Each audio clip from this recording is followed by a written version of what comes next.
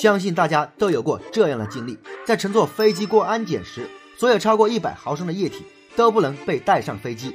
你有想过这是为什么吗？嗨，科普拉，小林哥今天带来为什么所有超过一百毫升的液体都不能被带上飞机。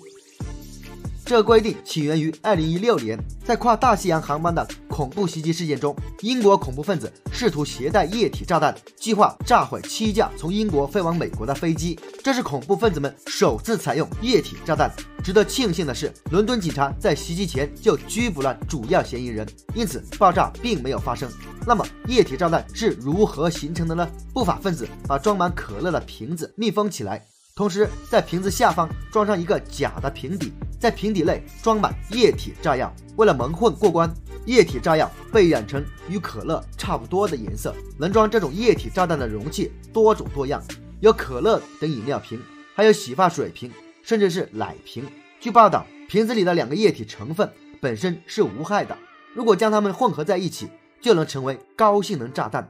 将两种液体带进机场是安全的，只需要在引爆前将它们混合就可以了。只要稍微伪装一下，这种炸弹就可以轻松逃过扫描仪的检测。不法分子将这种液体炸弹放在行李箱中，然后只需要用一次性相机的闪光灯就足以引爆炸弹。有一位反恐专家指出，袭击者只要躲进飞机厕所里，用一段电线和一个电容器和电池，五分钟内就可以完成引爆器的组装。然后就可以在厕所中引爆炸弹。虽然炸弹的威力并非巨大，但足以将机身炸开一个大洞，使飞机出现严重的故障。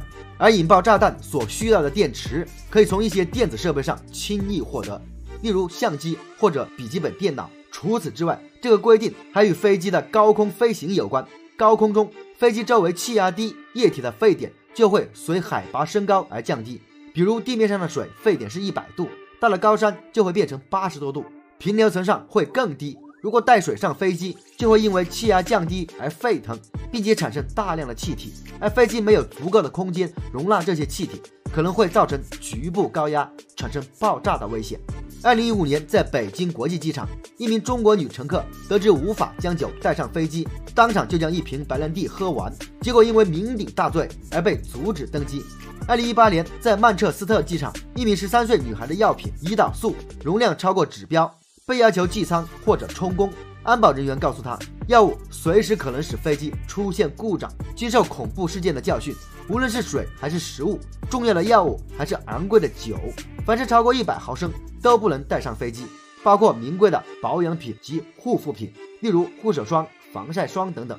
作为乘客，我们要按要求把液体装进低于一百毫升的容器里，因为就算你只有五十毫升的洗发水，但装在三百毫升的容器中也是不可以的。如果实在想要把保养品等液体带上飞机，那么就要记得寄舱，这样就可以在安检时省去不必要的麻烦。